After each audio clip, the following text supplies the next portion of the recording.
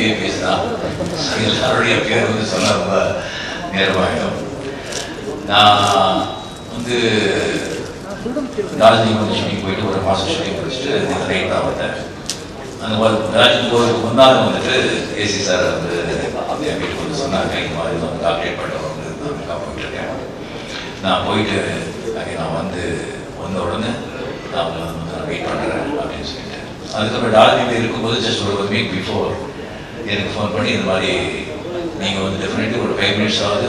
நீங்கள் வரணும். நீங்கள் ஃபங்க்ஷனுக்கு நீங்கள் எப்போ சொல்கிறீங்களோ அதை அவங்க வச்சுக்க ஃபோர்டீன் தான் மறுபடியும் நான் ஃபிஃப்டீன் தான் போகிறேன் சரி நான் அந்த நீங்கள் நான் வச்சுக்கேன் நான் சொல்லிட்டு சொல்லிட்டு பிஸியாக இருந்தேன்.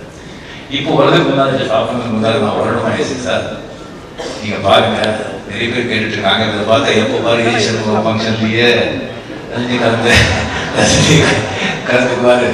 அங்கேயே பேசுவார் அப்படின்னு சொல்லி சொல்லுவாங்க. நான் வரல நீங்க ரசித்து தப்பா நினைச்சுக்க வேண்டாம். இப்போ நான் வந்து தான் வந்து உங்களுக்கு இருக்கு அவ்வளோ நட்பு இருக்கு அப்படிங்கிறத காட்டிக்க வேண்டிய அவசியம் இல்லை. அண்ட் உங்களை பாராட்டுறதுக்கு நிறைய பேர் ரசிச்சிருக்காங்க இல்லை இல்லை நீங்க ஜஸ்ட் வந்து ஒரு ஃபைவ் மினிட்ஸ் தான் நீங்க வந்துட்டு நீங்க வந்து பேச வேண்டாம் வாழ்த்து சொல்ல வேண்டாம். நீங்க வந்துட்டு ஒரு சாது போட்டு நீங்க போயிடுங்க அப்படின்னு சொன்னாங்க. அந்த பாராட்டு விழா சொல்லிட்டு வந்துட்டு அப்படியே போனா அது நல்லா இருக்காது. பார்க்கும்போதெல்லாம் எனக்கு வந்து ரொம்ப ஆச்சரியமா சொன்னா அவர் எத்தனை இன்ஸ்டிடியூஷன் நடத்துறாங்க? எல்லாருக்குமே வந்து தெரியும் பிகாஸ் அவங்க ஃப்ரெண்ட்ஸ் தான் இங்கே வந்துருக்கீங்க அது எவ்வளோ கஷ்டம் ஒவ்வொரு இன்ஸ்டியூஷன் நடத்துறது எவ்வளோ கஷ்டம் அது பெங்களூரில் இங்கே அத்தனை பேர் அத்தனை பேர் வேலை கொடுத்து அது எப்போ பார்த்தாலும் கூட ஒரு எனக்கு வந்து கம்ப்யூட்டர் நைன்டி சிக்ஸ்லேருந்து இதை பார்த்துருக்கேன் நைன்டி ஃபைவ்லேருந்து பார்த்துருக்கேன். ஒரு டென்ஷனோ ஒரு சலிப்போ இல்லை ஒரு டயர்ட்னஸோ அவர் ஃபேஸ்ல உடம்புல நான் பார்த்ததே கிடையாது.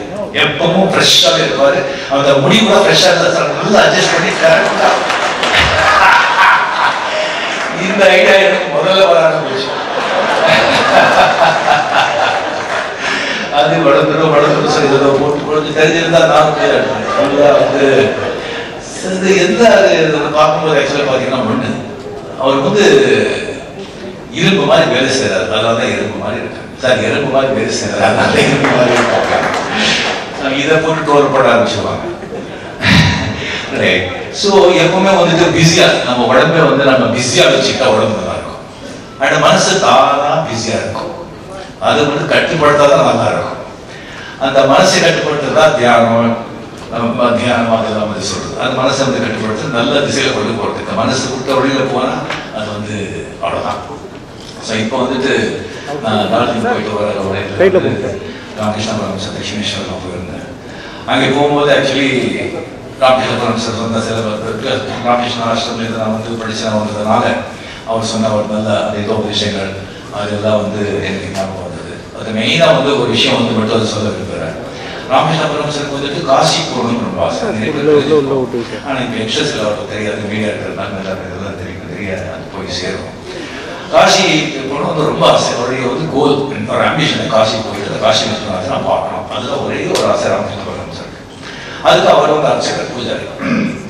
பரவாயில்ல நிறைய குழு இருந்தா கூட அவர் வந்து பின்பற்றது கிடையாது. அவருக்கு வந்த வருமானத்தில் அதே வந்து பல வருஷங்கள் செஞ்சு அவர் வந்து காசிக்கு வந்து போகும்போது போற வழியில பார்த்தா நிறைய ஏழை மக்கள் வந்துட்டு வந்து கஷ்டப்படுறாங்க. அவங்களுக்கு சாப்பாடே இல்லை.